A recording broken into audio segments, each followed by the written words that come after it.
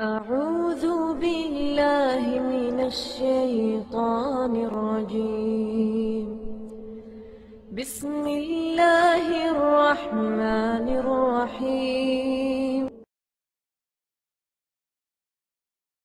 ومن أحسن قولا ممن دعا إلى الله. ممن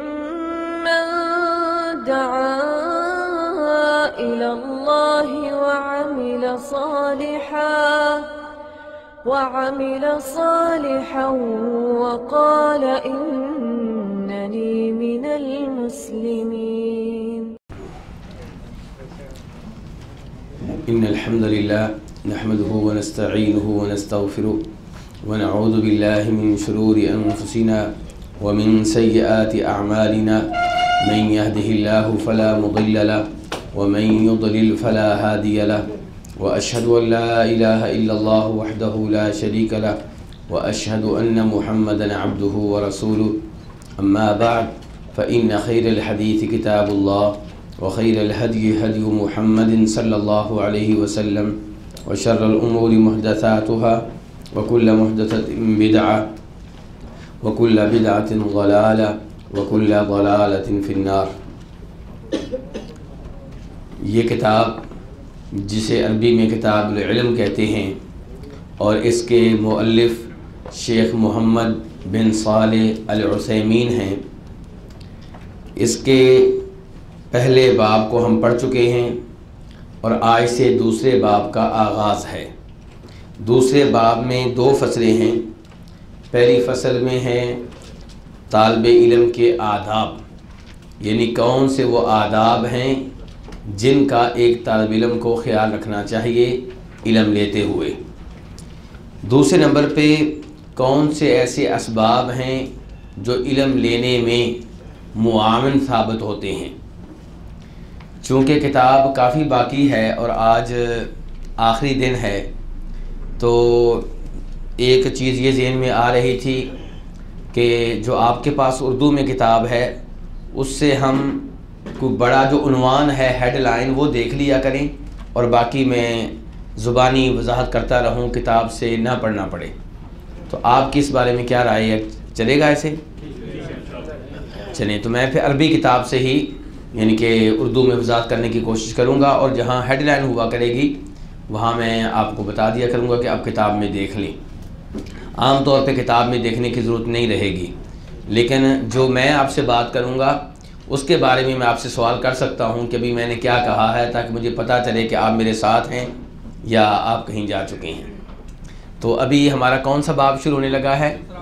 دوسرا باب۔ دوسرے باب میں کتنی فصلیں ہیں؟ دو۔ پہلی فصل میں کیا چیز ہے؟ طالب علم کے آداب۔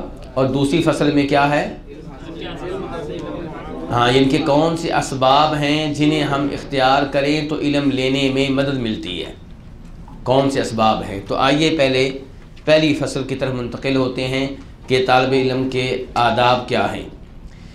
شیخ کہتے ہیں کہ کچھ آداب ہیں جنہیں اپنانا ضروری ہے۔ ان میں سے پہلا ادب کیا ہے؟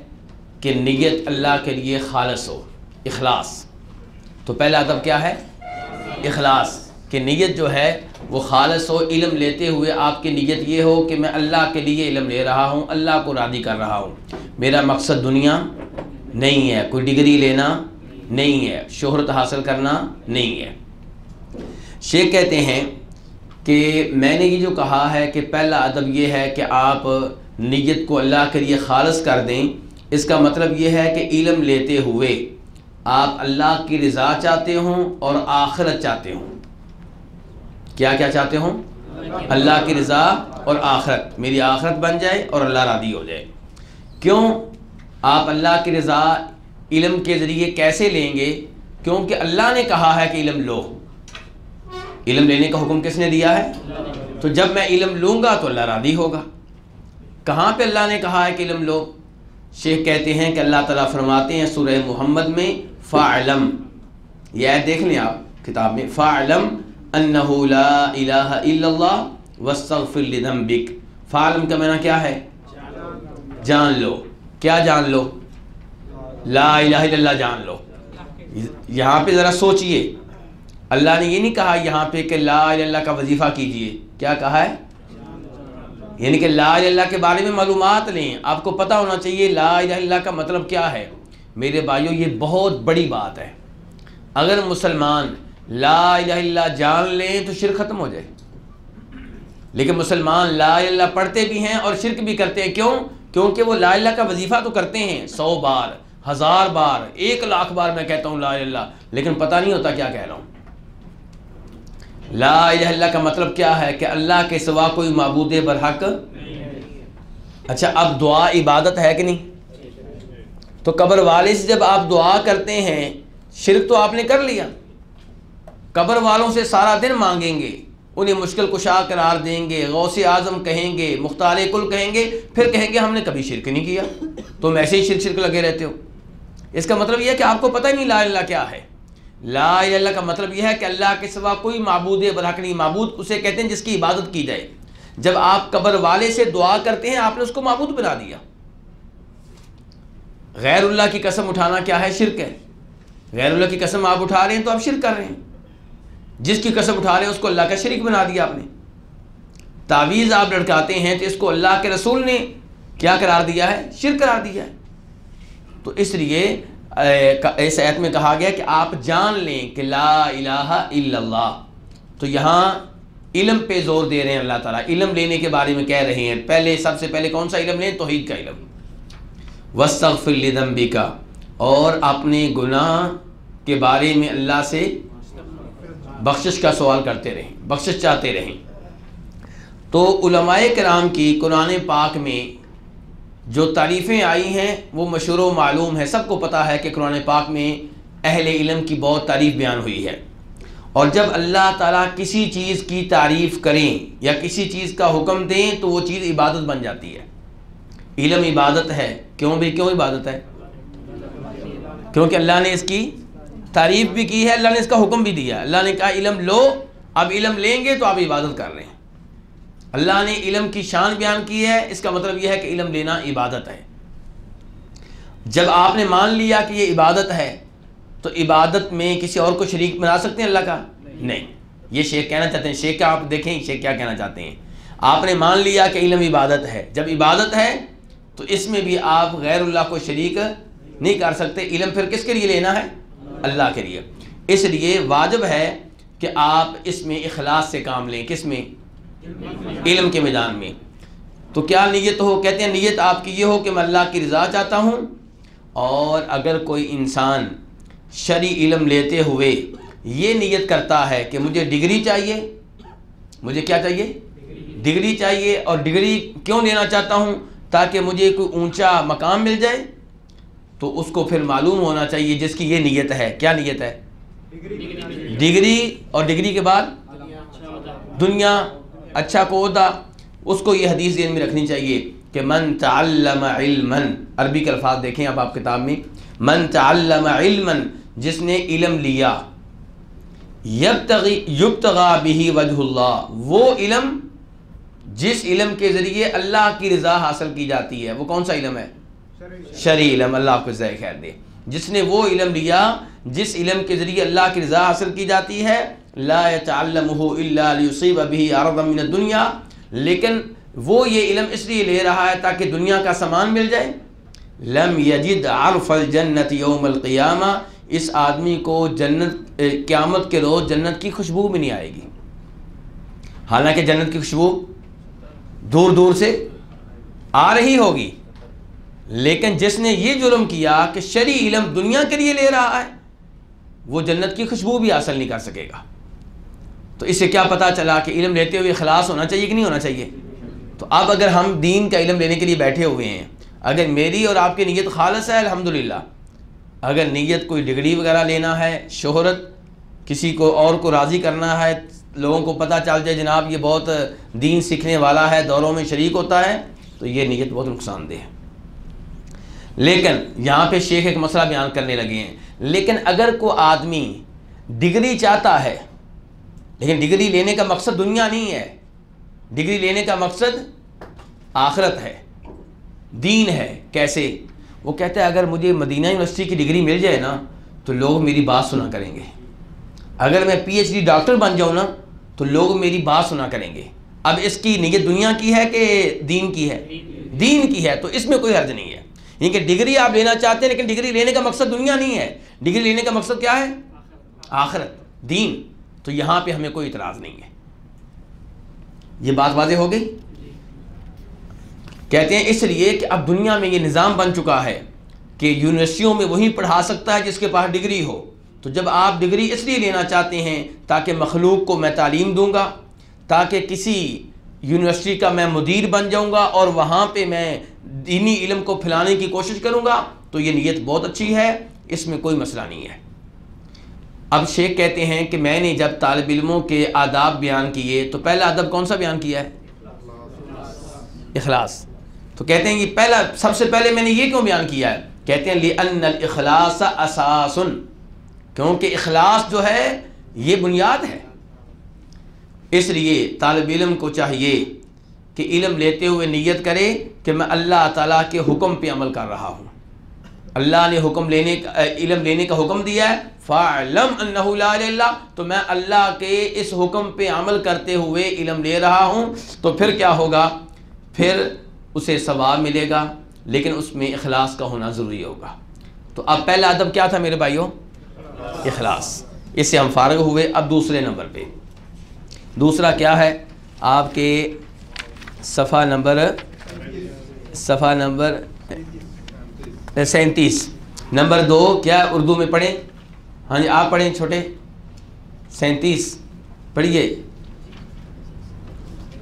سینتیس، تھرٹی سیون۔ اس سے پتہ چل رہا ہے کہ اردو کمزور ہے۔ جی۔ ہاں۔ نہیں آتی ہے؟ نہیں، چلیں جی۔ آتی ہے اچھا چلیں جی ہوں اپنے اور اپنے علاوہ دوسروں سے جہالت کا ازالہ۔ ازالہ۔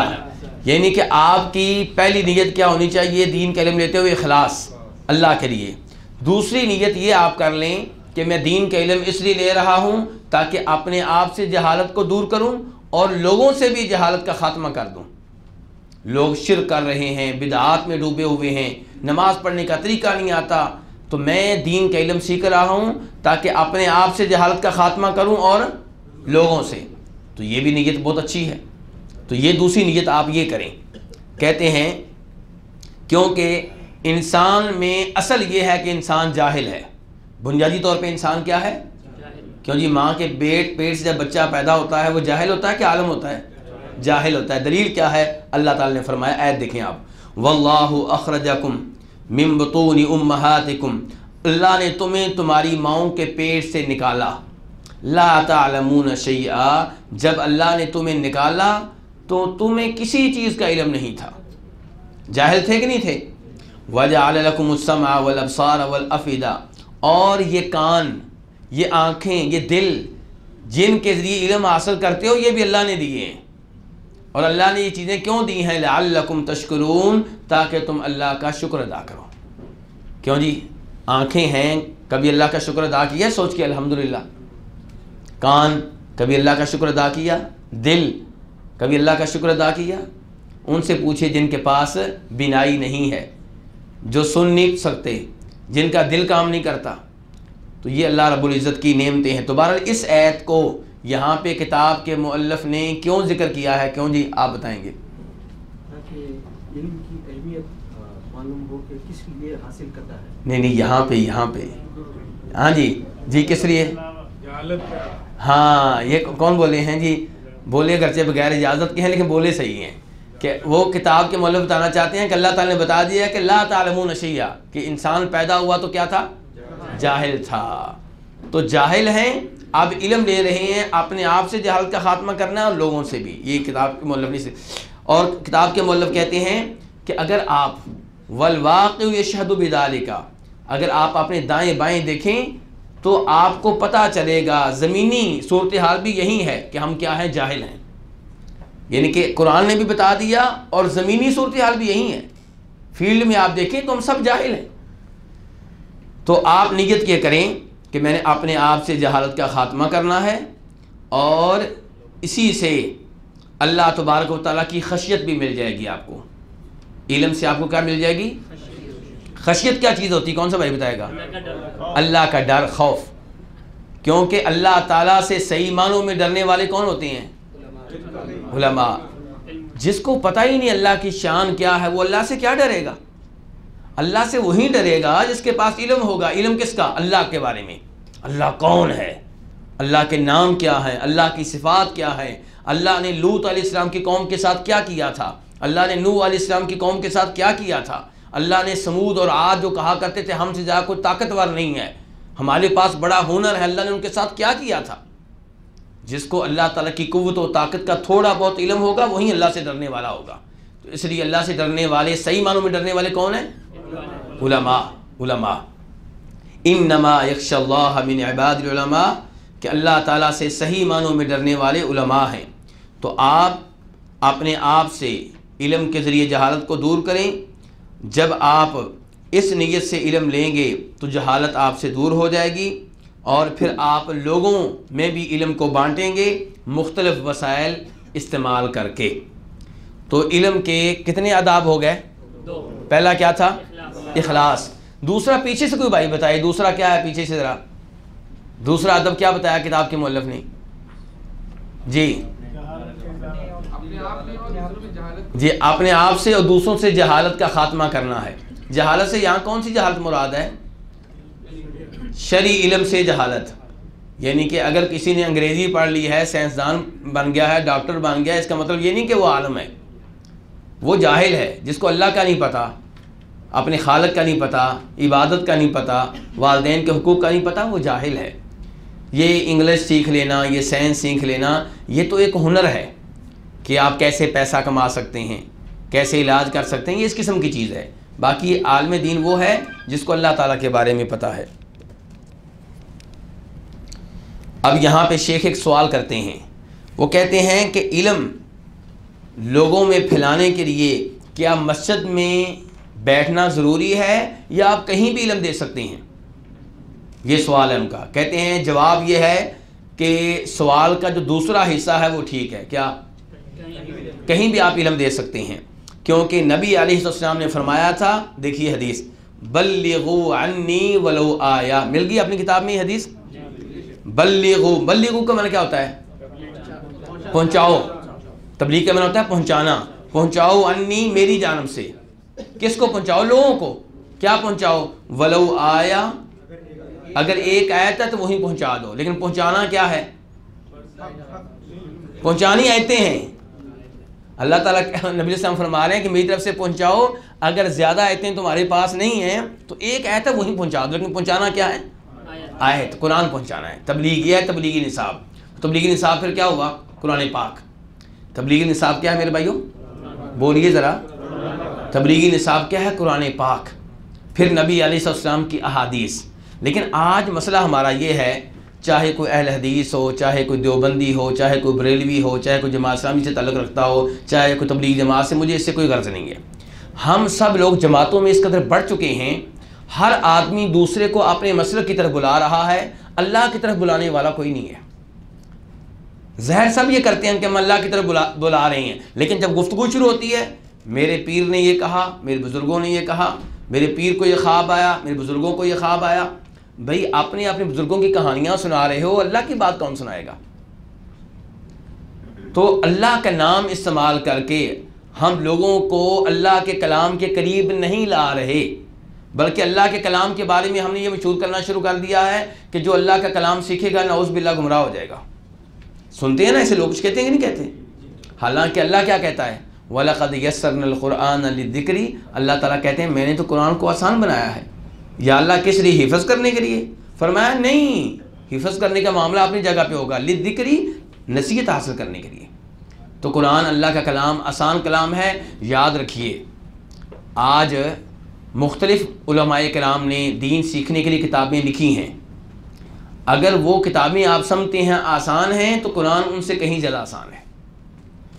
اس لیے بہرحال بلغو انی ولو آیا، تو تبلیغی نصاب کیا ہے؟ سب سے پہلے کیا ہے؟ قرآن۔ کیونکہ کیونکہ جب آپ ایک آدمی کو علم دیں گے اور وہ آدمی کسی اور آدمی کو علم دے گا، تو اب آپ کو دو آدمیوں کا اجر ملے گا۔ کتنے آدمیوں کا؟ آپ نے ایک آدمی کو سورہ فاتحہ سکھا دی، اس نے آگے کسی اور کو سکھا دی۔ اب آپ نے محنت کتنے پہ کی تھی؟ اس نے آگے کسی اور پہ کر دی۔ اب آپ ان کو تو سواب ملنا ہی ملنا ہے۔ آپ کو کتنا ملے گا؟ دو آدمیوں کا۔ اور اگر دوسرا تیسرے کو سکھا دے گا تو آپ کو اگر وہ آگے سکھا دے گا تو آپ کو کیا بات ہے؟ صدقہ جاریہ ہو گیا۔ کہتے ہیں، یہیں سے پتا چلا۔ یہ بڑی اہم بات شیخ بیان کرنے لگے ہیں۔ سنیے ذرا دھیان سے توجہ میری طرف رکھیے۔ شیخ کہتے ہیں، یہاں سے پتا چلا۔ کہاں سے؟ کہ علم سے ثواب کیسے ملتا ہے؟ ایک کو آپ نے سکھایا، اس نے آگے سکھایا، اس نے آگے سکھایا، سب کا ثواب آپ کی طرف آ رہا ہے۔ یہاں سے پتا چلا کہ یہ کہنا بدت ہے۔ کیا کہنا؟ کہ یا اللہ، یہ جو میں نے عبادت ابھی کی ہے، اس کا ثواب اللہ کے رسول کو دے دے۔ کچھ سمجھے ہیں کچھ؟ کیوں؟ کیونکہ آپ نے جو تلاوت کی ہے، جس کا آپ کہہ رہے ہیں ثواب یا اللہ اللہ کے رسول کو دے دے۔ اللہ کے رسول کو ثواب پہلے ہی مل گیا۔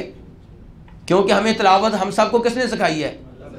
اللہ کے رسول نے سکھائی، پہلے آدمی کو وہاں سے ہوتے ہوتے ہم تک پہنچ گئی۔ حج کا طریقہ ہمیں کس نے سکھایا؟ اللہ کے رسول نے۔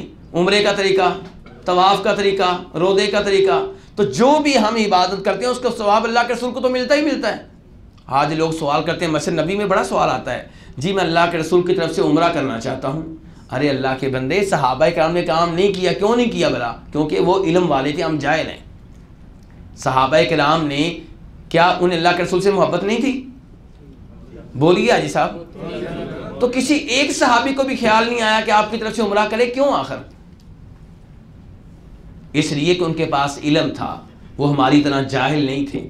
ان کو پتا تھا کہ ہم جو بھی نیکی کرتے ہیں، اس کا ثواب اللہ کے رسول کو۔ اس لیے اللہ کے رسول نے کبھی یہ نہیں کہا۔ یہ کہا، میرے اوپر درود پڑھو، سلام پڑھو، یہ کبھی نہیں کہا، میری طرف سے ایک عمرہ کر لو، میری طرف سے حج کرنا۔ کبھی اللہ کے رسول نے مطالبہ نہیں کیا، نہ صحابہ کرام نے کام کیے۔ تو شیخ کہہ رہے ہیں، یہاں سے ہمیں پتا چلا۔ اب بتائیے، کہاں سے پتا چلا؟ کہ علم صدقہ جاریہ ہے۔ جو معلم اول ہے، جو پہلا ٹیچر ہے، اس کو باقی سب کا ثواب ملتا ہے۔ اس اصول سے پتا چلا کہ یہ کہنا بدت ہے کہ یا اللہ، میں نے یہ عبادت کی ہے، اس کا ثواب اللہ کے رسول کو دے دے۔ کیوں؟ حاجی صاحب، یہ مسئلہ آئندہ کسی کو سمجھا لیں گے؟ مطمئن کر لیں گے؟ چلیں جی آگے کہتے ہیں شیخ، امام احمد رحمہ اللہ نے کہا تھا کہ اگر انسان کی نیت ٹھیک ہو جائے تو علم کے برابر کوئی اور عمل نہیں ہے۔ اگر کیا ٹھیک ہو جائے؟ نیت ٹھیک ہو جائے۔ ان کے اخلاص سے اگر آپ علم دیں، نیت آپ کی صاف ہو، شہرت کا ارادہ نہ ہو، دنیا کا ارادہ نہ ہو، تو علم کے برابر کوئی چیز نہیں ہے۔ کیوں؟ کیونکہ ابھی آپ نے دیکھ لیا نا۔ اگر میں نماز پڑھوں گا، نفل پڑھوں گا، اس کا فائدہ کسے ہوگا؟ مجھے ایسے ہی ہے، کسی اور کو۔ لیکن اگر میں کسی کو نماز کا طریقہ سکھاؤں گا، وہ آگے کسی اور کو سکھائے گا، وہ آگے کسی اور کو سکھائے گا، تو دائیں بائیں سے ثواب ملنا شروع ہو جائے گا، اسے بھی ملے گا، جس کو میں سکھاؤں گا۔ کیونکہ اس کے ذریعے آگے تین آدمی تک طریقہ پہنچا، چار آدمی تک پہنچا۔ اسی لیے امام احمد کہتے ہیں کہ علم کے برابر کوئی نیک عمل نہیں ہے اگر نیت صحیح ہو جائے۔ لوگوں نے کہا، امام احمد کہتے ہیں، لوگوں نے کہا کئی فضا کا ہمیں یہ بات سمجھائیں۔ کہ نیت کیسے ٹھیک ہوتی ہے؟ لوگوں نے کہا، ہمیں یہ بات سمجھائیں کہ نیت کیسے ٹھیک ہوتی ہے؟ کہا، یہ نیت کر لو کہ میں علم اس لیے لے رہا ہوں کہ میں نے اپنے آپ سے جہالت کو دور کرنا ہے اور لوگوں سے بھی دور کرنا ہے۔ کیونکہ لوگوں میں اصل یہ ہے کہ وہ جاہل ہیں۔ پھر کہتے ہیں کہ جو اس لیے علم لیتا ہے کہ میں امت سے جہالت کو دور کروں گا، وہ اللہ کی راہ میں جہاد کر رہا ہے۔ وہ اللہ کی راہ میں کیا کر رہا ہے؟ کیونکہ وہ اللہ کے دین کو پھیلا رہا ہے۔ تو یہ علم پھیلانا یہ کیا جہاد ہے؟ تو برحال طالب علم کے کتنے اداب ہو چکے ہیں؟ پہلا کیا تھا؟ خلاص دوسرا کیا؟ اس لیے علم لے رہا ہوں کہ اپنے آپ سے اور لوگوں سے جہالت کو دور کرنا ہے۔ تیسرے نمبر پہ۔ جی حاجی صاحب، پڑھیے۔ تیسرے نمبر پہ کیا ہے؟ تیسرا ادب پڑھیے، ذرا کیا ہے؟ ہاں یہ تہرا ویسے ترجمہ کرنے والے نے ذرا اپنی طرف سے لفظ لگا لیا کئی لوگ پریشان ہو جائیں گے، یہ تہرا کون ہے؟ تہرا سے مراد ہے پاک شریعت، ٹھیک ہے نا؟ تو یعنی ان کے علم لینے کا تیسرا مقصد آپ کا یہ ہونا چاہیے کہ میں شریعت کا دفاع کرنے لگا ہوں۔ کس کا دفاع کرنے لگا ہوں؟ شریعت کا۔ شریعت پہ کافر بھی حملے کر رہے ہیں۔ شریعت پہ اپنے لوگ بھی حملے کر رہے ہیں۔ تو میں نے شریعت کا دفاع کرنا ہے۔ آپ نے دیکھا ہوگا، بہت سے لوگ اس حدیث کو نہیں مانتے جس حدیث میں آیا ہے کہ نبی علیہ السلاط والسلام نے جب جناب عائشہ سے شادی کی تو ان کی عمر نو سال تھی۔ کیوں؟ کیونکہ جی لوگ کافر اعتراض کرتے ہیں۔ کون اعتراض کرتے ہیں؟ تو وہ کہتے ہیں اس حدیث کا انکار کر دو۔ یہ عجیب دفاع ہے بھائی۔ پھر نبی علیہ السلام پہ جادو ہوا۔ اب اس جادو نے اثر ڈالا آپ کے اوپر، لیکن آپ کے دین کے اوپر نہیں، آپ کی ذات کے اوپر۔ ذات دنیاوی معاملات، مثال کے طور پہ بیگم کے پاس رات کو گئے تھے کہ نہیں گئے تھے، آپ کو شک پڑ جاتا تھا۔ دین کے معاملے میں کوئی شک نہیں پڑا، دین محفوظ ہے۔ اچھا اب یہ جادو آپ کے اوپر ہوا۔ اب اس کے اس حدیث کے اوپر بھی کئی لوگ اعتراض کرتے ہیں۔ اسلام کہتا ہے چور کا ہاتھ کاٹ ڈالو۔ اب اس کے اوپر کئی کافر اعتراض کرتے ہیں۔ اب جس کے پاس دین کا علم نہیں ہے، وہ ایسی اعتراض سن کے احساس کمتری کا شکار ہو جائے گا۔ اور یہی کچھ ہمارے بچوں کے ساتھ ہو رہا ہے۔ وہ ہمارے بچے جن کو تعلیم کے لیے ہم بھیجتے ہیں برطانیہ امریکہ وغیرہ، ان کے پاس اسلام کی معلومات نہیں ہوتی۔ وہ وہاں پہ ایسے اعتراضات سن کے اسلام کے بارے میں احساس کمتری کا شکار ہو جاتے ہیں کہ ہمارے دین میں یہ چیزیں نہ ہوتی تو اچھا تھا۔ اور پھر ان کو وہ سکالر اچھے لگتے ہیں جو ایسی چیزوں کا انکار کر رہے ہوتے ہیں کہ یہ صحیح ہے۔ تو یہاں سے مسائل پیدا ہوتے ہیں۔ جب علم نہیں ہوتا کیونکہ آپ کے بچے کو پندرہ سال کا بچہ ہے، سولہ سال کا بچہ ہے۔ آپ نے اسے پیدا ہوتے انگلش میڈیم اسکول میں داخل کر دیا تھا۔ دین کا علم تو آپ نے اسے دیا ہی نہیں۔ زیادہ سے زیادہ اسے اوپر دیکھ کے قرآن پاک پڑھنا آتا ہے بس۔ اب اس کے پاس علم نہیں ہے، قصور اس کا ہے۔ اور وہ بیچارہ سمجھتا ہے کہ شاید قصور اسلام میں ہے۔ شاید خلل اسلام میں ہے۔ تو یہ کب ہوتا ہے جب آپ کے پاس کیا نہ ہو؟ علم نہ ہو۔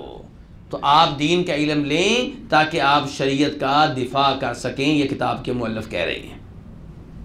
چلے جی۔ ہاں ایسے ہی یہ مسائل کہ اسلام میں مرد و عورت برابر ہیں کہ نہیں، عورت کو وراثت کتنی ملے گی؟ آدھی ملے گی کہ پوری ملے گی؟ اب عام طور پہ ہمارے جو مسلمان ہیں نا، ہمارا وہ طبقہ جن کو آپ کہتے ہیں پڑھا لکھا طبقہ، کیا کہتے ہیں؟ یہ طبقہ ان چیزوں میں بڑا پریشان رہتا ہے۔ اور یہ چاہتے ہیں کہ ہمیں کوئی ایسی دلیل مل جائے جس کے ذریعے ہم کافروں کے سامنے ثابت کر دیں کہ اسلام میں مرد و عورت برابر ہیں۔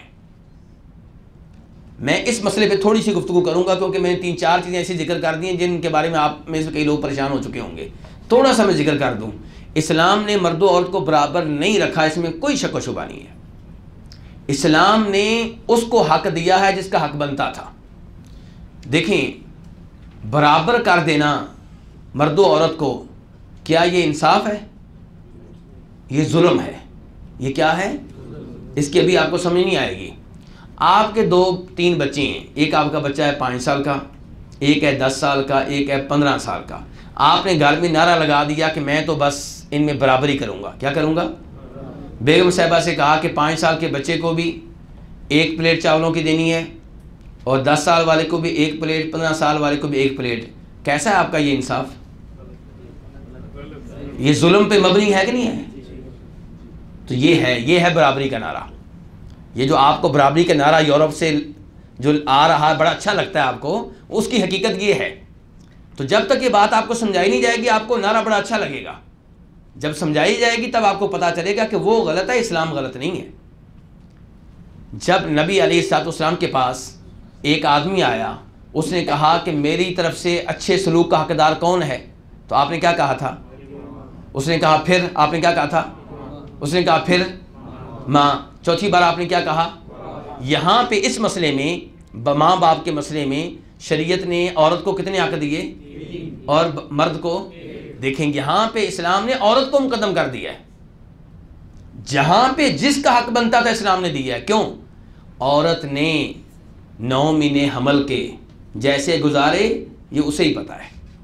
پھر دو تین مہینے دودھ پلانے کے جیسے گزارے، بچے کی وجہ سے کتنی مصیبتیں، پریشانیاں برداشت کیں، یہ عورت ہی جانتی ہے یہاں پہ اسلام نے عورت کو مقدم رکھا ہے۔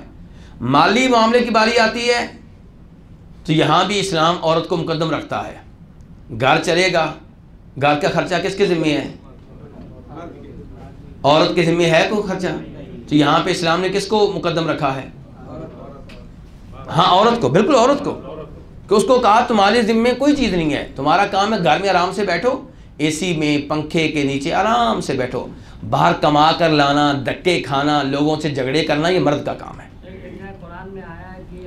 ایک منٹ آپ سنتے رہیے بات پوری ہونے دینا۔ تو دیکھیے اب یہاں پہ یہاں پہ بھی اسلام نے کس کو آگے رکھا ہے؟ عورت کو آگے رکھا ہے۔ عورت کو شہزادی بنا کے گھر میں بٹھا دیا ہے۔ کہ تمہارا کام ہے خامد آئے اس کا استقبال کرنا، اس کی خدمت کرنا، بچوں کی خدمت کرنا، بچوں کو کھانا دینا، انہیں سہولت دینا، وہ تھکے ہوئے آئے ہیں، ان سے پیار کرنا۔ خامد بیچارہ تھکا ہوا آیا ہے، پسینے میں ڈوبا ہوا آیا ہے، اسے خوش کرنا، اس کے پاس بیٹھنا، اس کی باتیں سننا، تو یہ تاکہ اس کا دل کا غبار نکل جائے، وہ ہلکا ہو جائے۔ تو یہ ہے اسلام۔ لیکن جب وراثت کی باری آئی، تو اسلام نے کہا عورت کو کتنی ملے گی؟ آدھی۔ یہاں پہ ہمارے یہ لوگ چیخ پڑے۔ کہ جی عورت کے ساتھ یہ ظلم ہے۔ کیسے ظلم ہے؟ بھائی، ایک آدمی فوت ہوا، اس نے ایک بیٹی چھوڑی، ایک بیٹا چھوڑا۔ مثال کے طور پہ، اس نے چھوڑے ہیں ایک سو پچاس روپے وراثت میں۔ اب بیٹی کو کتنے ملیں گے؟ سو۔ اور بیٹی کو؟ میں پہلے بیٹا بولا ہے نا۔ بیٹی کا ہے۔ چلیے بال، بیٹے کو کتنے ملیں گے؟ سو۔ بیٹے کو سو، بیٹی کو یعنی کہ بیٹی کو کم ملے۔ اب یہاں تک تو آپ نے سوچ لیا کہ اس کو زیادہ ملی اس کو کم ملی ہیں، لیکن آگے دیکھیں۔ اب گھر چلانا کس کی ذمہ داری ہے؟ باپ تو فوت ہو گیا، اب کس کی ذمہ داری ہے؟ بیٹے کی۔ اس کا سو روپیہ تو دوسرے دن ہی ختم ہو جائے گا۔ اور بیٹی کا پچاس روپیہ اس کے پاس موجود ہے، کیونکہ اس کے ذمہ کچھ نہیں ہے۔ وہ خود خوش خرچ کرے، اس کی مرضی ہے۔ شریعت کی طرف سے اس کے ذمہ کچھ نہیں ہے۔ جبکہ اس بچے نے کمانا ہے گھر بھی چلانا ہے، اپنی شادی کے لیے پیسے بھی جمع کرنے ہیں، جو بیگم آئے گی اس کا حق مہر بھی اس نے تیار کرنا ہے، اور جو بیگم آئے گی اس کا خرچہ بھی کس کے ذمہ ہوگا؟ بیٹے کے ذمہ اور لڑکی، پچاس روپیہ پڑا ہوا ہے اگر خرچ نہ کرے تو۔ اور اس کے بعد شادی ہوگی تو اسے حق مہر بھی ملنے والا ہے۔ شادی ہونے کے بعد کسی کے گھر چلی جائے گی، وہاں پہ خرچہ کس کے ذمہ ہے؟ تو اب دیکھیے، یہ حقیقت ہے میرے بھائی۔ تو اس لحاظ سے آپ میرے بھائی کیا کہہ رہے تھے ہم بتا رہے تھے کہ قرآن میں اللہ نے ایک جگہ فرمایا ہے کہ ہم عورت مرد کا حق برابر رکھا صرف مرد کا ایک پادان زیادہ رکھا کیونکہ وہ کماتا ہے گھر میں خرچ کرتا ہے یہ قرآن میں آتا ہی ہے کیسے کیسے کیسے آتا ہی فرمایا کہ ہم نے عورت مرد کا حق برابر رکھا صرف مرد کا ایک پادان ہم نے زیادہ حق دیا تاکہ وہ کماتا ہے گھر میں خرچ کرتا ہے۔ یہ آیت ہے قرآن میں آئی ہے۔ بہرحال مفہوم تو میں نے بتا دیا آپ کو یہی چیز لیکن ایت یہ کون سی آپ کہہ رہے ہیں؟ میرے ذہن میں تو نہیں آ رہی ایسی کوئی ایت ٹھیک ہے؟ لیکن یہی کچھ میں نے آپ کو بتا دیا ہے کہ خرچہ کرنا لڑکے کے ذمہ ہے۔ بہرحال یہ اس چیز کی طرف میں نے اشارہ کرنا تھا۔ تو اب بتانا چاہتا ہوں کہ اس قسم کے اعتراضات ہوتے ہیں لوگوں کے۔ جبکہ ان کی حقیقت میں کچھ بھی نہیں ہوتا، لیکن انسان پریشان ہو جاتا ہے۔ تو آپ علم لیں تاکہ آپ شریعت کا دفاع کر سکیں۔ شیخ کہتے ہیں کہ ویسے تو علم کتابوں میں موجود ہے۔ کہاں موجود ہے؟ کتابوں میں۔ لیکن کتابوں کا مسئلہ یہ ہے کہ کتابیں بذات خود اپنا شریعت کا دفاع نہیں کر سکتی۔ کون دفاع نہیں کر سکتی؟ کتابیں موجود ہیں، کوئی پڑھنے والا آئے گا، پڑھے گا، علم لے گا، تبھی دفاع ہو سکے گا۔ شیخ نے کہا ہے بالکل ایسے ہی جیسے اسلحہ ہاں موجود ہے۔ اب اسلحہ آپ کے پاس بہت اسلحہ جی ہمارے پاس۔ اب کافر کسی ملک نے حملہ کر دیا تو کیا یہ اسلحہ خود خود چلنا شروع ہو جائے گا؟ اس کے لیے چلانے والوں کی ضرورت ہے۔ گولا پھینکنے کے، گولے کے لیے ایسے آدمی کی ضرورت ہے جو گولا پھینک سکے۔ گولی کے لیے ایسے آدمی کی ضرورت ہے جو کلاشن کو پکڑ کے چلا سکے۔ رائفل پکڑ کر چلا سکے، پسٹل پکڑ کر چلا سکے۔ تو ایسے ہی دین کا علم کتابوں میں موجود ہے۔ لیکن کتابیں خود بولتی نہیں ہیں۔ کوئی آئے گا، علم لے گا، تو وہی شریعت کا دفاع کر سکے گا۔ تو یہ شیخ آپ کو سمجھانا چاہتے ہیں کہ شریعت کا دفاع آپ نے کرنا ہے، اس لیے آپ علم لیں۔ شیخ کہتے ہیں، ایک اور چیز آپ دیکھ لیں کہ کتابوں میں جو نئی بدتیں ہیں، ان کا تذکرہ نہیں ہے۔ جو نئی بدتیں نکل رہی ہیں، مثال کے طور پہ جو کتابیں صحابہ کرام کے زمانے میں تابعین کے زمانے میں تبا تابعین کے زمانے میں، چار اماموں کے زمانے میں لکھی گئی ہیں۔ کیا ان میں آپ کو تیجے کا تذکرہ ملے گا؟ ساتویں کا، چالیسویں کا، برسی کا، عید میلاد النبی کا۔ ان چیزوں کا رد وہاں نہیں ملے گا آپ کو۔ کیونکہ ان زمانے میں بتیں نہیں تھیں۔ لیکن اللہ کے رسول کی حدیث موجود تھی کہ جس نے بھی ہمارے دین میں نیا کام نکال دیا، وہ ریجیکٹ ہے۔ لیکن پرانی بتوں کے اوپر رد نئی علماء نئی بتوں کے اوپر رد نئے علماء کرام کریں گے۔ آپ کریں گے، آپ یہ حدیث سیکھیں گے، آپ یہ ایتیں سیکھیں گے کہ الیوم اکملت لکم دینکم، دین مکمل ہو گیا ہے۔ یہ علم آپ لیں گے، پھر نئی نئی بتوں کے اوپر آپ رد کریں گے۔ نئی بتوں کا تذکرہ پرانی کتابوں میں نہیں ملے گا۔ تو اس لیے بھی ضرورت ہے کہ آپ علم لیں تاکہ شریعت کا دفاع کر سکیں۔ تو علم کے آداب کتنے ہو گئے؟ پہلا کیا تھا؟ دوسرا جہالت کا خاتمہ، اپنے آپ سے لوگوں سے، تیسرا شریعت کا دفاع۔ اب چوتھے نمبر پہ ہاں جی کون سا بھائی پڑھے گا چوتھے نمبر پہ کیا ہے؟ پیچھے سے کوئی بھائی پڑھے، ذرا چوتھا ادب کیا ہے؟ پیچھے سے، وہ آخری لائن۔ جی۔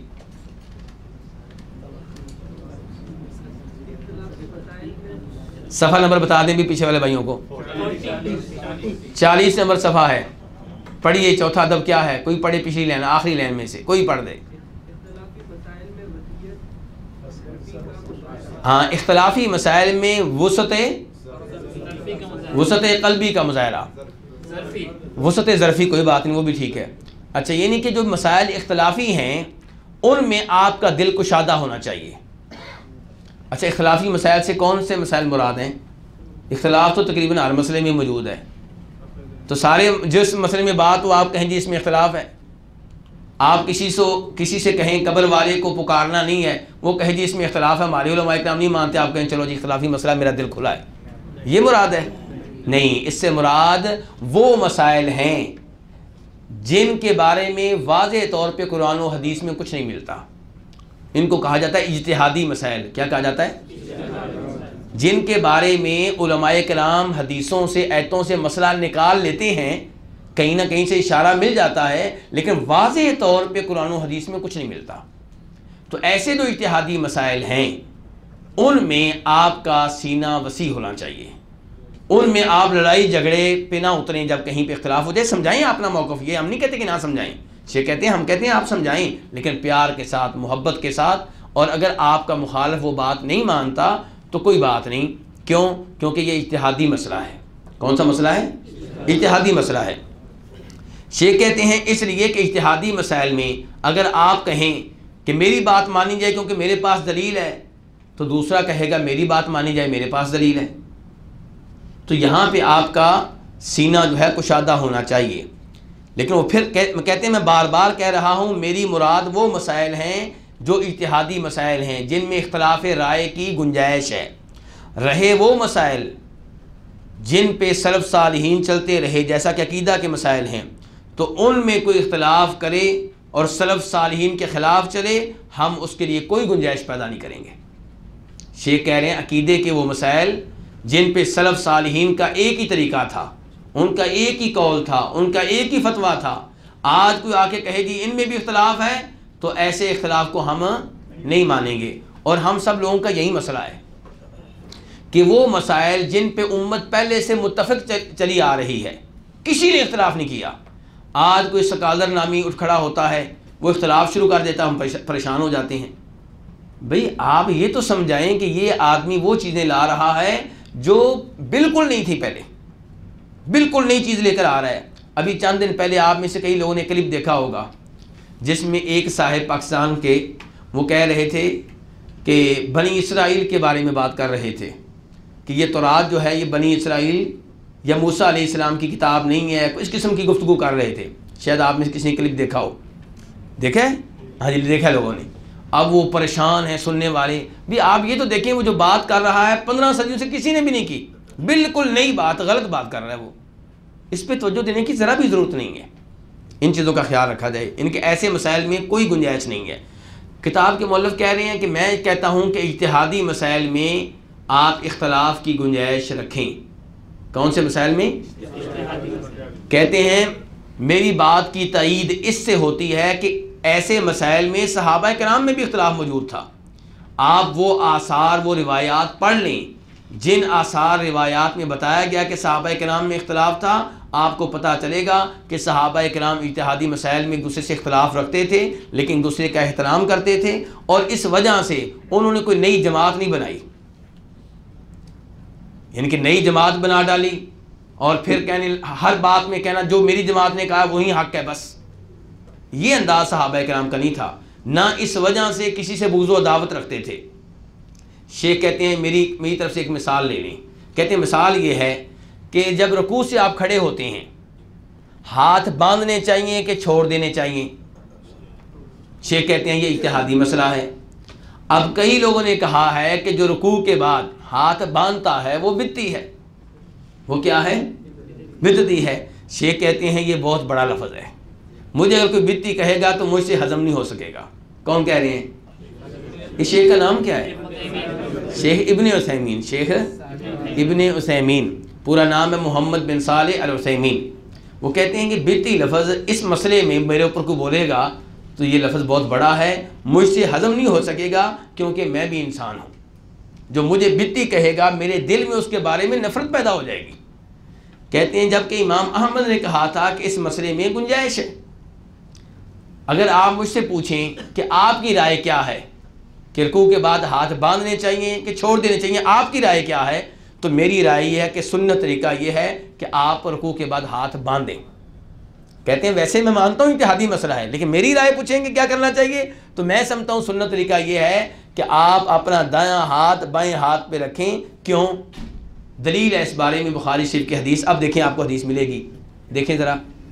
کان الناس یؤمرون۔ دیکھیے، ملی کہ نہیں ملی؟ مل گئی ہے؟ کہاں، کس صفحے میں؟ کان الناس یؤمرون۔ Forty two. عربی نہیں لکھی؟ اچھا۔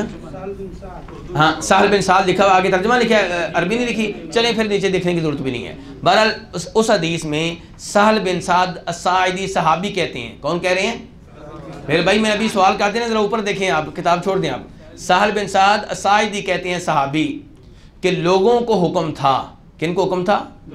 لوگوں کو حکم تھا کہ آدمی نماز میں دایاں ہاتھ بائیں بازو پہ رکھے۔ دائیں ہاتھ کہاں پہ رکھے؟ کب؟ نماز میں. کب؟ کب؟ اب کتاب کے مولف کہتے ہیں، صحابی نے کہا ہے کہ یہ ہمیں حکم تھا. حکم کون دیتا ہے صحابہ کرام کو؟ نبی علیہ السلاط والسلام. اچھا اب صحابی کہہ رہے ہیں کہ ہمیں حکم تھا کہ دائیں ہاتھ بائیں بازو پہ رکھیں نماز میں. نماز میں. کیا اس سے مراد سجدہ ہو سکتا ہے؟ سجدے کے ہاتھ میں تو ہاتھ زمین پہ رکھتے ہیں. کیا اس سے مراد رکوع ہو سکتا ہے؟ کیونکہ رکوع میں ہاتھ کہاں رکھتے ہیں؟ گھٹنوں پہ۔ کیا اس سے مراد اتحیات کی حالت ہو سکتی ہے؟ کیونکہ وہاں ہاتھ کہاں پہ رکھتے ہیں؟ رانوں پہ گھٹنوں پہ۔ دو سجدوں کے درمیان والی حالت ہو سکتی ہے اس سے مراد؟ نہیں کیونکہ وہاں بھی ہاتھ کہاں رکھتے ہیں؟ گھٹنوں پہ اور رانوں پہ۔ تو پھر اس سے کیا مراد ہے؟ کہتے ہیں اس سے مراد ہے قیام کی حالت۔ کون سی حالت؟ ہے کہتے ہیں اور قیام دو ہوتے ہیں ایک رکوع سے پہلے والا ایک رکوع سے بعد والا تو یہ حدیث دونوں کو شامل ہے۔ شیخ ابن عثیمین کہہ رہے ہیں۔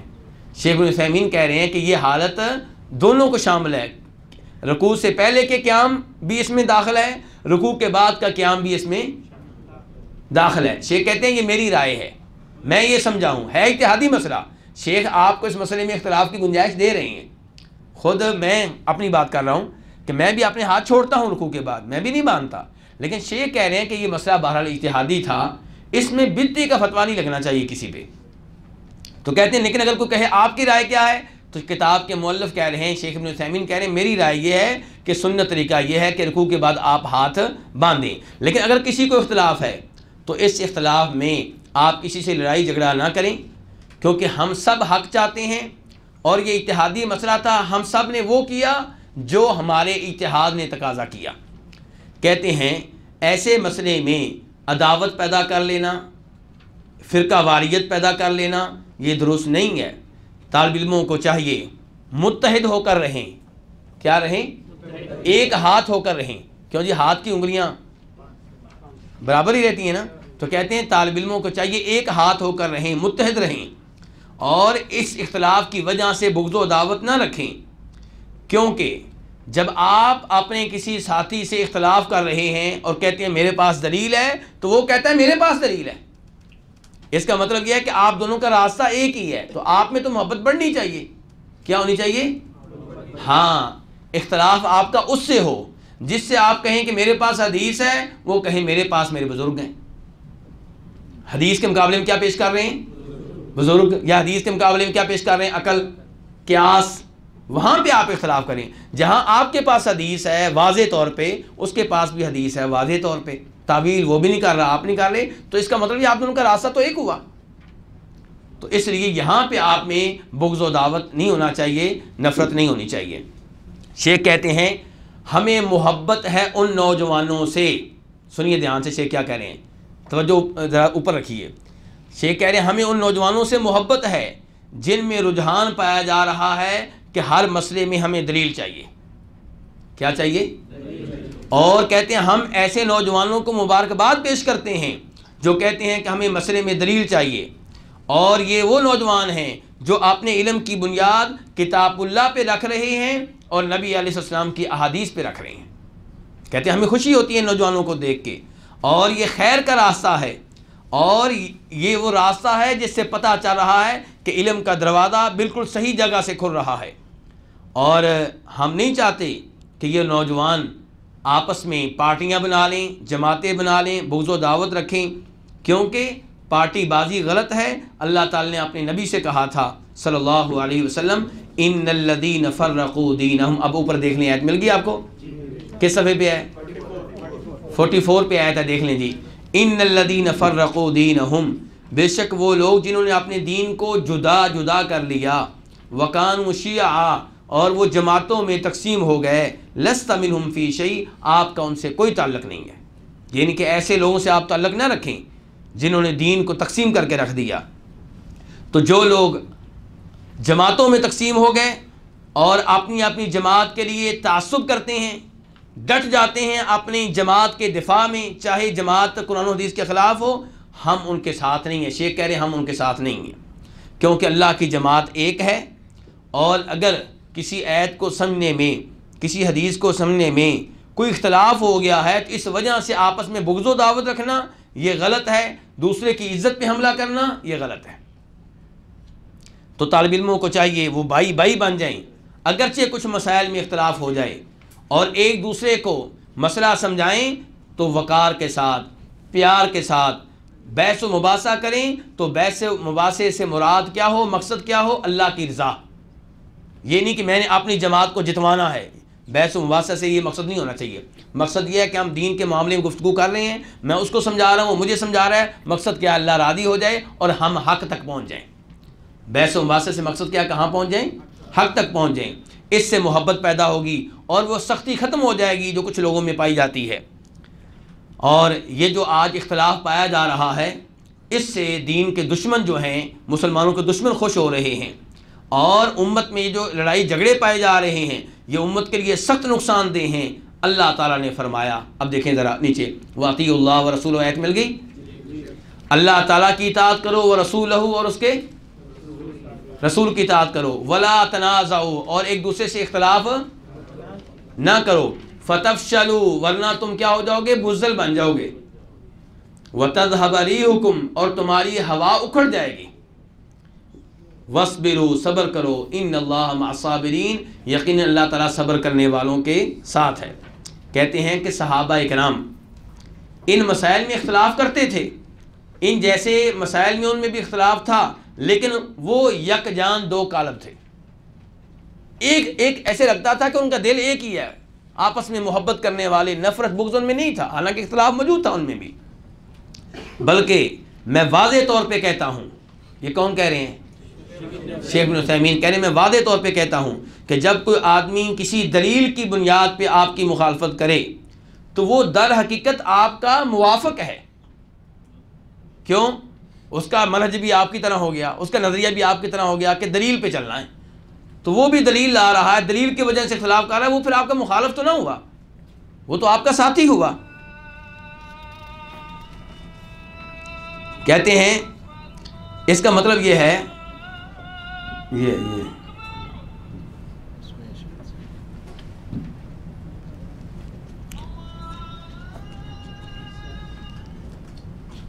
کہہ رہے ہیں کہ جب دلیل کی وجہ سے وہ آپ سے اختلاف کر رہا ہے، تو پھر اختلاف اختلاف نہ ہوا، پھر تو وہ حق میں آپ کا ساتھی بن گیا۔ اس طریقے سے امت ایک ہو جائے گی۔ کس طریقے سے؟ کہ اگر کوئی اتحادی مسئلہ، یہ بات کہیے ذرا میرے ساتھ، کہ اگر کوئی کیا ہے؟ اتحادی مسئلہ ہے، اتحادی مسئلے میں اگر دلیل کی بنیاد پہ کوئی اختلاف کرتا ہے تو کوئی مسئلہ نہیں۔ کس میں؟ اتحادی مسئلے میں۔ اور ان مسائل کی بات نہیں ہو رہی جو اتحادی نہیں ہے بار بار سن لیں گے۔ صرف ان مسائل کی بات ہو رہی ہے جو اتحادی مسائل ہیں، جن مسائل میں واضح طور پہ قرآن و حدیث سے کوئی چیز نہیں ملتی۔ ان کی بات ہو رہی ہے بس۔ کہتے ہیں، اگر ان اتحادی مسائل میں آپ اختلاف کی گنجائش رکھیں گے تو پھر امت ایک ہو جائے گی اور ایسا آدمی مضموم نہیں ہے، قابل مذمت نہیں ہے۔ ہاں قابل مذمت وہ ہے جو دلیل مل جانے کے بعد، حق واضح ہو جانے کے باوجود انعاد رکھے اور ہٹ درمی کا مظاہرہ کرے۔ تو کتنے اداب ہو گئے؟ پہلے نمبر پہ کیا تھا؟ پیچھے، پہلی، پچھلی لائن سے کوئی بھائی بتائے ذرا، پچھلی لائن سے۔ پہلا ادب کیا تھا؟ نہیں، نیچے نا آپ دیکھیں۔ اب نیچے نہیں دیکھنے کا ٹائم نہیں ہے۔ اب اوپر دیکھیں اگر آتا ہے تو، اوپر دیکھیں ذرا۔ پہلا ادب کیا ہے؟ آخری لائن۔ چلے، اس سے پہلے والی لائن۔ جی اخلاص۔ اس سے، اس کے پہلے والی لائن۔ دوسرا ادب کیا ہے؟ نہیں نہیں، یہ آپ کی لائن نہیں آپ سے پیچھے والی لائن ہے۔ جی۔ یعنی علم لینے کا مقصد یہ ہے کہ جہالت کو دور کرنا اپنے آپ سے بھی اور لوگوں سے بھی۔ ہاں جی تیسرا ادب اس سے پہلے والی لائن۔ جی۔ شریعت کا دفاع۔ اللہ آپ کو ذائقہ خیر دیں ہاں جی اس کے بعد والی لائن۔ جی۔ ہاں اختل... وہ اختلافی مسائل جن کا تعلق اجتہاد سے ہے ان میں وسط قلبی کا وسط ظرفی کا مظاہرہ۔ تو یہ کتنے ادب ہو گئے؟ چار۔ اب ہے پانچواں ادب۔ پانچواں ادب اوپر دیکھ کر کون پڑھے گا؟ جی پڑھیں۔ ہاں علم کے مطابق عمل بھی کریں۔ علم کے آداب میں سے یہ ہے طالب علم کے آداب میں سے ہے کہ جو علم لیا ہے اس پہ عمل کریں۔ شیخ کہتے ہیں، آپ کے علم کا تعلق عقیدے سے ہو، کس سے ہو؟ ذرا میری طرف دیکھیے، کتاب میں نہ دیکھا کریں۔ اب اب ہمارا اتفاق ہو گیا ہے کہ کتاب سے نہیں پڑھ رہے ہم۔ کتاب سے تعلق ہمارا قائم ہے، لیکن زبانی پڑھ رہے ہیں۔ اور میں نے سوال آپ سے زبانی کرنا ہے۔ تو شیخ کہہ رہے ہیں، آپ کے علم کا تعلق عقیدے سے ہو، یا عبادات سے ہو، یا اخلاق سے ہو، یا آداب سے ہو، یا معاملات سے ہو، جو بھی علم آپ کے پاس ہے، اس پہ عمل کریں۔ کون سے علم پہ عمل کرنا ہے؟ علم کا تعلق چاہے کس سے ہو، عقیدے سے، چاہے عبادات سے، چاہے معاملات سے، چاہے آداب سے، چاہے اخلاق سے، جو بھی علم آپ کے پاس ہے اس پہ عمل کریں۔ عقیدے کا جو علم ہے، اس کے مطابق عقیدہ بنا لیں۔ اخلاق کا کی جو احادیث آپ کے پاس ہیں، ان کے مطابق اپنا اخلاق بنا لیں۔ معاملات یعنی دنیاوی لین دین کی جو احادیث ہیں، ان کے مطابق آپ کا لین دین ہونا چاہیے۔ تو جو احادیث آپ کے پاس ہیں، ان پہ عمل کریں۔ اور یہی علم کا ثمرہ ہے۔ یہی علم کا حاصل ہے۔ ورنہ علم کا کیا فائدہ اگر عمل نہیں کرنا تو؟ شیخ یہ کہہ رہے ہیں اور کہتے ہیں کہ علم جو ہے، صاحب علم جو ہے، جس کے پاس علم ہے، وہ اس آدمی کی طرح ہے جس کے پاس اسلحہ ہے۔ جس کے پاس کیا ہے؟ اسلحہ ہے۔ اب یہ اسلحہ یا آپ کے حق میں استعمال ہوگا یا آپ کے خلاف استعمال ہوگا۔ جی؟ دونوں ہو سکتا ہے، یہی وہ بتا رہے ہیں نا۔ کہتے ہیں تو آپ کا علم بھی اسلحے کی طرح ہے۔ یہ علم آپ کے حق میں بھی ہو سکتا ہے اور آپ کے خلاف بھی ہو سکتا ہے۔ اگر عمل کریں گے تو آپ کے حق میں ہے، عمل نہیں کریں گے تو روزے قیامت آپ کے خلاف ہے۔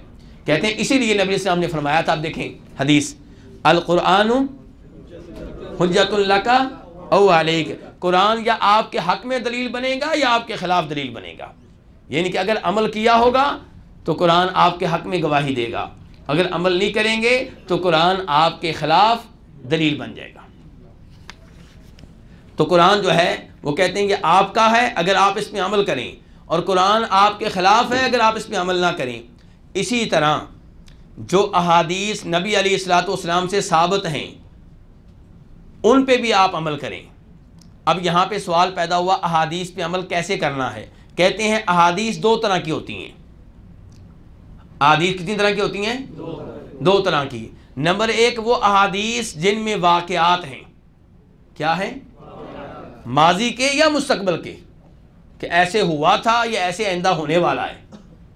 تو جو اس کو کہتے ہیں اخبار۔ تو وہ احادیث جن میں اخبار آئی ہیں، واقعات آئے ہیں، ان پہ عمل کیسے کرنا ہے؟ ایمان لانا۔ اللہ خوش رکھے آپ کو۔ دجال آئے گا، ایمان ہے آپ کا؟ آپ کو پتہ ہونا چاہیے کہ بڑے مفسر ہیں۔ ان کا میں نے نام لے دیا نا، تو آپ میں سے کئی لوگوں نے ویسے ہی درس سے اٹھ کے چلے جانا ہے۔ تو اس لیے میں نام نہیں لوں گا۔ نام میں نہیں لوں گا۔ ایک بڑے مفسر ہیں۔ وہ کہتے ہیں، دجال کسی شخصیت کا نام نہیں ہے۔ دجال تو ایک اس سے مراد ہے کہ برائی عام ہو جائے گی۔ دجال سے کیا مراد ہے؟ برائی عام ہو جائے گی۔ یہ حدیث کی صاف صاف تعبیر ہے۔ یہ حدیث پہ ایمان نہ لانا ہے۔ اور عیسیٰ علیہ السلام روزے قیامت سے پہلے آئیں گے کہ نہیں آئیں گے؟ وہ کہتے ہیں کہ نہیں، اس سے مراد یہ نہیں کہ عیسیٰ علیہ السلام خود آ جائیں گے، اس سے مراد یہ ہے کہ خیر بڑی عام ہو جائے گی۔ کیا عام ہو جائے گی؟ دیکھیے، کیا یہ احادیث پہ ایمان لائے؟ اسے ایمان لانا نہیں کہتے۔ تو کتاب کے مولف کہہ رہے ہیں کہ علم پہ عمل کریں۔ اب جو احادیث جن میں واقعات بیان ہوئے ہیں، ان پہ عمل کیسے کیا جائے گا؟ ایمان لانا۔ آپ ہاں۔ جی آدم علیہ السلام آئے دنیا میں۔ آئے تھے؟ کس چیز سے پیدا ہوئے اور وہ تو کہہ رہے ہیں کہ جناب پہلے انسان بندر تھا۔ کیوں جی؟ اب آپ کا کس پہ ایمان ہے؟ اب یہاں پتا چلے گا کہ آپ کا قرآن و حدیث میں آئی ہوئی اخبار پہ ایمان ہے کہ اپنے سائنسدانوں پہ ایمان ہے۔ یہاں سے پتا چلتا ہے میرے بھائی۔ تو ماضی کے واقعہ لوت علیہ السلام کی بستی کو زمین سے اٹھایا گیا اور آسمان کے اتنا قریب لے جایا گیا کہ کتوں کی آواز اوپر آ رہی تھی۔ ٹھیک ہے؟ پھر وہاں سے ان کو اب اس پہ ایمان ہے؟ جی ہاں۔ یہاں سے پتا چلے گا کہ آپ ایمان رکھتے ہیں کہ نہیں رکھتے۔ یہ ہے احادیث پہ عمل۔ کون سی احادیث؟ اخبار اور واقعات والی احادیث۔ اور احادیث کا دوسرا حصہ کیا ہے؟ جن میں احکام آئے ہیں۔ کیا آئے ہیں؟ آرڈر آرڈر، یہ کرو، یہ نہ کرو، یہ کرو، یہ نہ کرو، تو ان پہ کیسے عمل کرنا ہے؟ جہاں کہا گیا نماز پڑھنی ہے، پڑھو۔ جہاں پہ کہا گیا شراب کے قریب نہیں جانا، نہ جاؤ۔ تو ان دونوں پہ آپ نے عمل کرنا ہے، احکام کے اوپر بھی، اخبار کے اوپر بھی۔ کون سی دو چیزیں ہوئیں گی ذرا؟ اخبار اور احکام۔ بلوغ المرام ایک کتاب ہے، کیا نام ہے؟ اس میں اخبار ہیں کہ احکام ہیں؟ احکام ہیں، اللہ آپ کو جزائے خیر دیں، ماشاءاللہ۔ اس کا مطلب آپ کے پاس علم ہے۔ تو یہ میرے بھائی احادیث دو طرح کی ہیں، یا احکام یا اخبار، دونوں پہ عمل کریں۔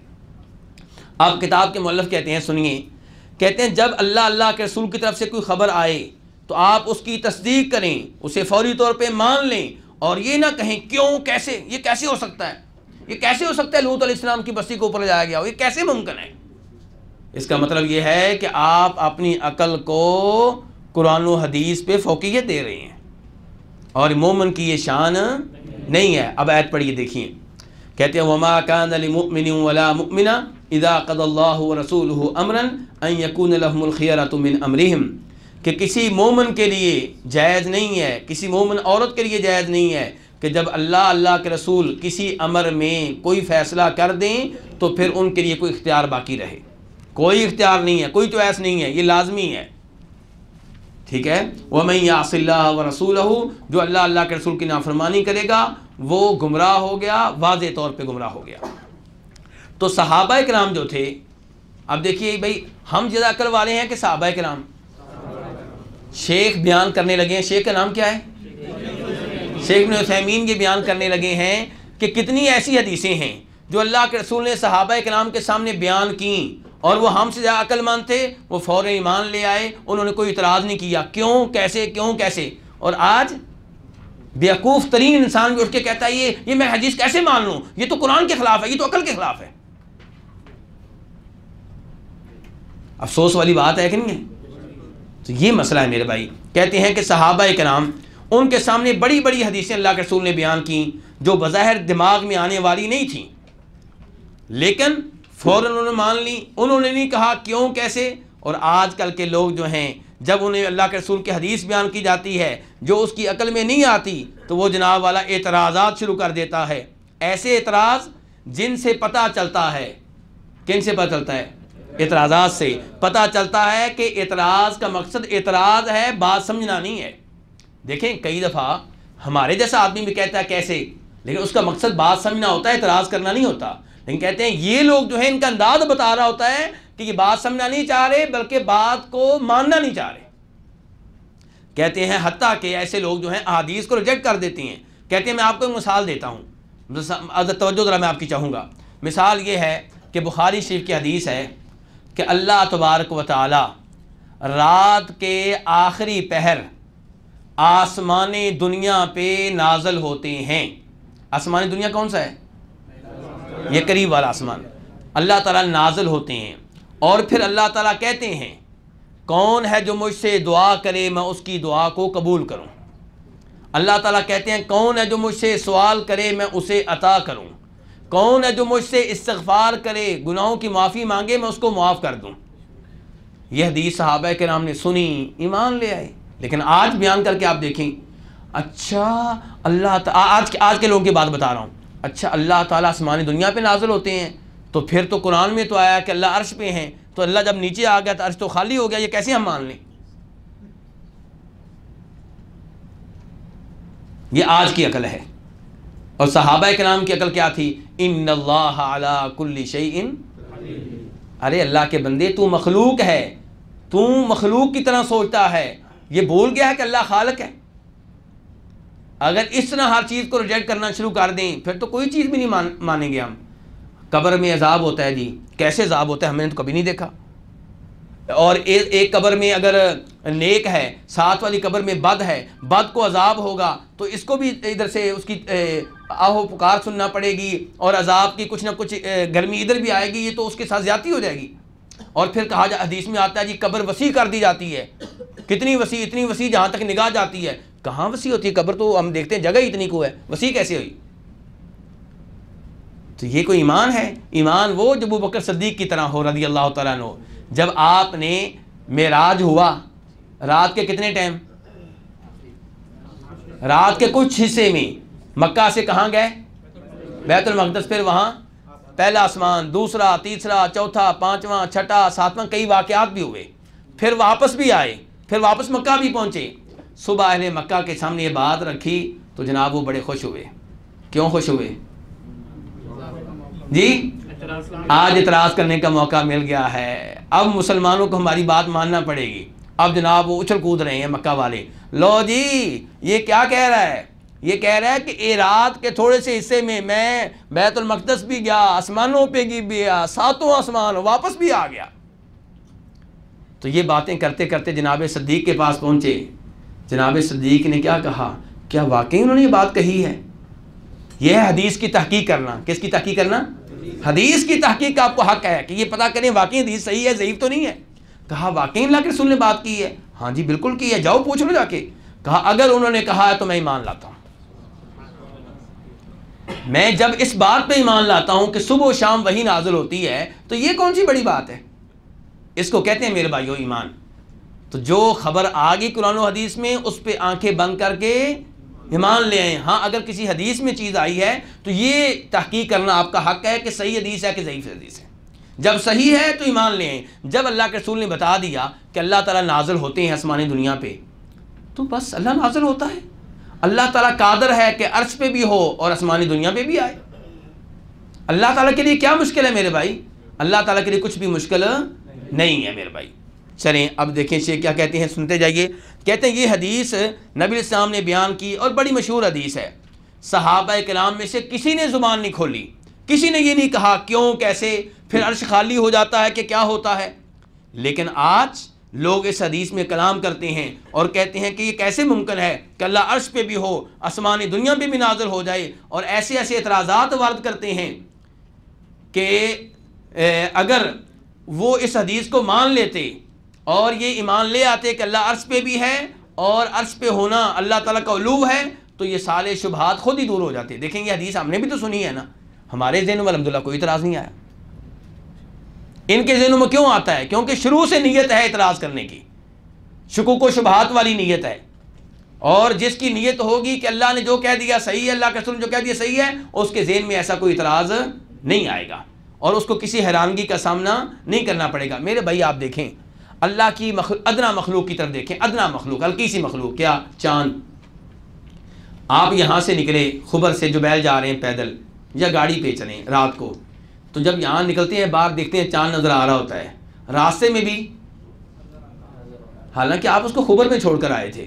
جو بیل میں پہنچ جاتے ہیں، ادھر بھی موجود ہے مدینہ پہنچ گیا، ادھر بھی موجود ہے مکہ پہنچ گیا، ادھر بھی موجود ہے یہ اللہ کی ایک مخلوق ہے۔ ایسے ہی آپ لے لیں کس کو؟ سورج کو۔ اور سورج اوپر ہے، روشنی نیچے آپ کے پاس آ رہی ہے۔ سورج اوپر ہے، اس کی تپش آپ نیچے محسوس کر رہے ہیں۔ حالانکہ خود کہاں پہ ہے؟ تو اللہ کی مخلوق کی یہ مثالیں ہیں، تو خالق کا کیا حال ہوگا؟ تو اس لیے فوری طور پہ ایمان لے آنا چاہیے۔ اور اللہ اللہ کے رسول کی جو غیبی باتیں ہیں ان کے مقابلے میں دنیاوی مثالیں پیش کرنا غلط ہے۔ اللہ اللہ کے رسول نے جو غیبی باتیں بتائی ہیں، ان کے مقابلے میں دنیاوی مثالیں پیش کرنا کیا ہے؟ غلط ہے۔ شیخ کہتے ہیں ایسی کئی مثالیں ہیں، لیکن میں بات کو طول نہیں دینا چاہتا۔ سچے مومن کو چاہیے فوری طور پہ مان لے آئے، جیسا کہ اللہ نے کہا ہے اب دیکھیں کتاب میں آیت۔ آمن الرسول مل گئی آیت۔ آمن الرسول بما انزل الیہ من ربہ والمؤمنون۔ کیا ترجمہ لکھا ہوا کون پڑھے گا؟ پڑھیے۔ رسول اللہ صلی اللہ علیہ وسلم پر اس کے پروردگار کی طرف سے جو کچھ نازل ہوا اس پر وہ خود بھی ایمان لایا اور سب اہل ایمان بھی ایمان لایا ہاں جو بھی اوپر سے نازل ہوا ہے، رسول بھی ایمان لے آئے تو مومنوں کو بھی ایمان لانا چاہیے۔ اور اللہ کے رسول سے زیادہ عقل والا کون ہوگا؟ جب آپ نے یہ باتیں مان لی ہیں، تو ہم تو ناقص عقل والے ہیں، ہمیں تو اعتراض کرنے کا کوئی حق نہیں پہنچتا ذرا بھی۔ چلیں، تو عقیدہ جو ہے، اس کی بنیاد اللہ کی کتاب پہ ہے، اللہ کے رسول کی حدیث پہ ہے۔ عقیدے کی بنیاد عقل پہ بالکل نہیں ہے۔ عقیدے کی بنیاد عقل پہ بالکل نہیں ہے۔ شیخ کہتے ہیں، میں یہ نہیں کہتا کہ اس میں عقل کا دخل ہی نہیں ہے۔ عقل کا دخل ہے۔ کیونکہ ہم عقل کے ذریعے ہی کتاب و سنت کو سمجھتے ہیں۔ لیکن عقل عقیدے کی بنیاد نہیں ہے۔ بنیاد کتاب و سنت ہے۔ شیخ کہتے ہیں، عقل جو ہے، یہ گواہی دیتی ہے کہ اللہ تعالیٰ کے کمال کے بارے میں، کہ اللہ کی قدرت کے بارے میں جتنی بھی احادیث آئی ہیں، ایتیں آئی ہیں، عقل کہ ان کی تعید کرتی ہے۔ عقل کیا کرتی ہے؟ ان کی تعید کرتی ہے۔ لیکن عقل جو ہے تفصیلات تک نہیں پہنچ سکتی۔ عقل تفصیلات تک جو بات بتا دی گئی، عقل اس کی تعید کرتی ہے، بات یہ ممکن ہے، صحیح ہے، بالکل۔ لیکن اس کی تفصیلات عقل بتا دے، عقیدے کے مسائل کی نہیں، عقل بیچاری نہیں بتا سکتی۔ چلیے۔ جیسا کہ اب یہ احادیث آپ لے لیں کہ جی شہداء زندہ ہیں، کہاں؟ برزخ میں، اپنے رب کے ہاں زندہ ہیں۔ اس کی کیا تفصیلات ہیں؟ جی وہاں جماعت کرواتے ہیں کہ نہیں کرواتے؟ ہاں جی؟ نہیں نہیں، وہاں پہ کوئی میچ مچ ہوتا ہے، کوئی کھیلتے کھولتے ہیں، کیا پروگرام ہوتے ہیں وہاں پہ؟ ہماری عقل یہاں نہیں پہنچ سکتی۔ بس اتنا بتا دیا کہ زندہ ہے ہم نے مان لیا۔ غیبی بات ہے نا؟ لیکن وہاں پہ کیا صورتحال ہے، ہمیں نہیں پتا۔ ہماری باتیں سنتے ہیں؟ نہیں، کیوں؟ یہ بتا دیا گیا ہے کہ وہ ماں انت مسلم فی القبور کہ جو بھی قبروں میں ہیں، انہیں آپ اپنی بات نہیں سنا سکتے۔ ان نقلات اسمل ہوتا فوج شدگان کو جو بتا دیا گیا، اس پہ ایمان ہے۔ تفصیلات؟ نہیں۔ تو یہ ہے میرے بھائی ہمارا یعنی ہماری عقل۔ تو کتاب کے مولفر کہہ رہے ہیں کہ عقیدے کے بارے میں جو بھی اللہ نے باتیں بتائی ہیں ان پہ ایمان لے آئیں۔ اس کے بعد شیخ نے عبادت کے بارے میں گفتگو شروع کر دی ہے کہ عبادت کے بارے میں بھی جو حدیثیں آئی ہیں ان پہ عمل کریں۔ ان پہ کیا کریں؟ عمل کریں۔ اور کہتے ہیں کہ ہم سب جانتے ہیں کہ عبادت جو ہے، اس کا دار و مدار دو چیزوں پہ ہے۔ نمبر ایک، اخلاص، نمبر دو، اتباع۔ عبادت کس لیے کس کے لیے کرنی ہے؟ اللہ کے لیے کرنی ہے۔ نمبر دو، اتباع، عبادت کیسے کرنی ہے؟ نبی علیہ السلام کے طریقے کے مطابق کرنی ہے۔ تو انسان کو چاہیے کہ عبادت کی بنیاد اس چیز پہ رکھے جو اللہ کی طرف سے آئی ہے، اللہ کے رسول کی طرف سے آئی ہے اور دین میں کوئی نئی چیز داخل نہ کرے۔ نئی چیز، نہ کوئی نئی عبادت داخل کرے، نہ پہلے سے موجود عبادت کی کیفیت کو تبدیل کرے۔ نہ اس کا کوئی وصف تبدیل کرے، نہ اس کو کسی جگہ کے ساتھ مخصوص کرے، نہ اس کو کسی زمانے کے ساتھ مخصوص کرے، نہ کوئی نیا سبب لے کر آئے، یہ باتیں بھی سمجھاتا ہوں ساری۔ دیکھیں میرے بھائی، وضو کا آغاز ہاتھ سے ہاتھ سے ہوتا ہے ایسے ہی ہے نا؟ اب ہم اس کی کیفیت تبدیل کر دیں جی پاؤں سے شروع کیا کریں گے۔ اللہ نے کہا جی ہاتھ دھویا کرو، چہرہ دھویا کرو، لیکن ہم سارے کام کریں گے، لیکن ذرا اس کی تفصیلات میں کچھ تبدیلی کریں گے۔ ہم پاؤں سے آغاز کریں گے، کیسا ہے؟ وضو کا آغاز پاؤں کی طرف سے کریں گے صحیح ہے؟ غلط ہے۔ کہتے ہیں کہ عبادت جو پہلے سے موجود ہے اس کی تفصیلات میں بھی آپ تبدیلی نہیں کر سکتے اور وصف میں بھی تبدیلی نہیں کر سکتے۔ وصف سے کیا مراد ہے؟ جگہ تبدیل کر دینا۔ مثال کے طور پہ اعتکاف اللہ کے رسول کے زمانے میں لوگ کہاں بیٹھتے تھے؟ صلی اللہ علیہ وسلم۔ آج کل آپ نے دیکھا ہوگا مسلمانوں کی بہت سی عورتیں کہاں کہاں بیٹھتی ہیں؟ گھروں میں۔ یہ کس حدیث میں آیا ہے؟ نبی علیہ السلام کی بیویاں کہاں کہاں بیٹھتی تھیں؟ مسجد میں بیٹھتی تھی لوگ کہتے ہیں نہیں جی اصل میں اب زمانہ تبدیل ہو گیا ہے۔ اب مسجدوں میں جو ہے نا فتنہ ہوتا ہے۔ تو ٹھیک ہے، نہ بیٹھے۔ گھر میں بیٹھ کے جتنی بات کر سکتی ہیں، کر لیں۔ اللہ کا ذکر کر لیں اشراق کی نماز پڑھ لیں، تلاوت کر لیں۔ لیکن یہ کیا ہوا کہ آپ اعتکاف کی نئی جگہ نکال لیں؟ جبکہ قرآن نے کہا ہے، ولا تو باشرو ہننا و ان تم آکف فل مساجد مسجدوں میں اعتکاف ہوتا ہے، گھروں میں نہیں ہوتا۔ نبی علیہ السلام کی بیویاں آپ کے زمانے میں بھی اعتکاف مسجد میں بیٹھی ہیں، بعد میں بھی مسجد میں بیٹھی ہیں، بلکہ آپ کی ایک بیوی ایسی تھیں جنہیں استحادہ کا خون آتا تھا۔ کون سا خون؟ میں نے حیض نہیں کہا۔ حیض کا خون کون سا ہوتا ہے؟ جو روٹین کا ہوتا ہے، پانچ دن، چھ دن۔ لیکن ایک خون ہوتا ہے جو اس کے علاوہ بھی آتا ہے، کسی کسی عورت کو جو بیمار ہوتی ہے۔ یہ بیماری ہے، استحادہ کا خون آنا کیا ہے؟ بیماری ہے۔ استحادہ کی حالت میں عورت نماز پڑھے گی؟ بالکل پڑھے گی، واجب ہے۔ حیض کی حالت میں نہیں پڑھے گی، استحادہ کی حالت میں پڑھے گی۔ اچھا روزے رکھے گی؟ بالکل رکھے گی۔ کیونکہ استحادہ کی حالت میں عورت پاک ہے نپاک نہیں۔ حیض کی حالت میں؟ حیض کی حالت میں نپاک ہے، استحادہ کی حالت میں پاک ہے۔ تو آپ کی ایک بیگم کو خون آتا تھا استحادہ کا اور وہ مسجد میں اتکاب بیٹھتی تھی، ان کے نیچے ٹب رکھنا پڑتا تھا، ٹب، برتن رکھنا پڑتا تھا۔ اب اگر گھر میں اتکاب بیٹھنے کی گنجائش ہوتی تو آپ اپنی اس بیگم سے کہتے اللہ کی بندی، تو کیوں مسجد میں بیٹھی ہوئی ہے؟ جا گھر میں جا کے اتکاف بیٹھ جا۔ لیکن ایسا نہیں ہوا۔ تو کیا پتا چلا اتکاف کی جگہ کون سی ہے؟ اب اعتکاف آپ کر رہے ہیں، عبادت تو پرانی ہے۔ لیکن اس کی جگہ تبدیل کر دی آپ نے؟ نہیں۔ چلیں ایک ایک اور مثال لے لیں۔ کہ آپ نے سنا کہ عرفات میں نو تاریخ کو عرفات میدان عرفات میں جانا بہت عظیم عبادت ہے۔ وہاں پہ دعائیں کرنا، اللہ کا ذکر کرنا بڑی عظیم بات ہے۔ آپ نے کہا میں غریب آدمی ہوں، حج پہ نہیں آ سکتا، عمرے پہ آیا ہوا ہوں، تو کل کا دن نہ میدان عرفات میں گزارنا ہے۔ وہاں پہ عبادت کرنی ہے۔ کیسا ہے یہ؟ اور عرفات کی حدیث نہیں آپ جانتے؟